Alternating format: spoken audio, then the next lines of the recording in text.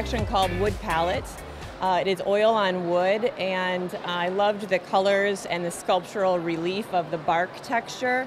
From a distance, it looks like abstract art, the colors and the contemporary composition, but in actuality, it's realism. This is a uh, representational of the rainbow eucalyptus tree in the Philippines, and that is what the bark looks like. Kind of like an autumn leaf, um, the tree sheds layers of bark. So at first it's that bright green, and as it ages, it changes color and starts all over again. So it's a living, contemporary work of art.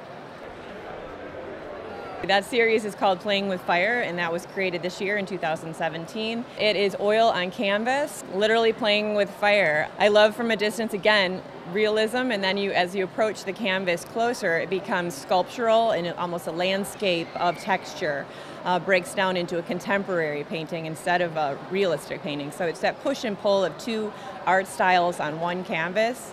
As far as the meaning of the work, um, it has to do with environmental issues that our country's been faced with this year, the forest fires, the hurricanes.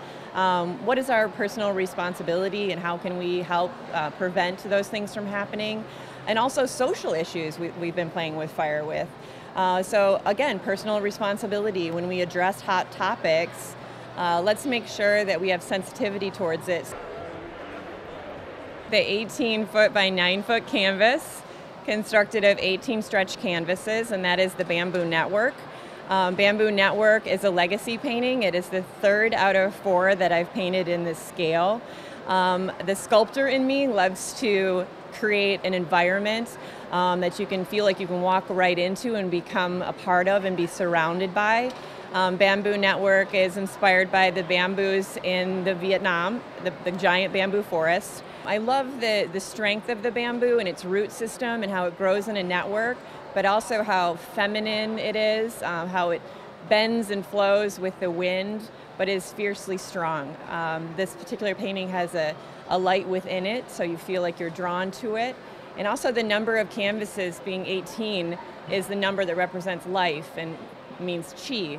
So that also had a meaning to me as well. I believe it's been eight years now that I've been participating here, not in Miami, but at Red Dot Art Fair. I love it. I think the company is so professional. They not only show in Miami, but in New York and Santa Fe, and now they're introducing a show in Las Vegas. Um, it's been a great partnership. I've done really well. I've met incredible people, buyers, art lovers, uh, all different nationalities and diversity come here to Miami for this week.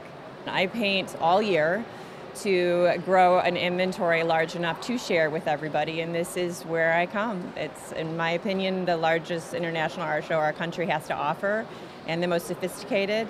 And uh, even as an artist, I come here to be personally inspired by the quality of the work that I see.